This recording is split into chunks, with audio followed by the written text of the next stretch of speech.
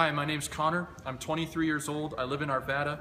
I've received a lot of blood because I'm a two-time heart transplant recipient. Please come out and donate to Bonfils Blood Center for Drive for Life on Tuesday, October 13th. Anything helps. Thank you.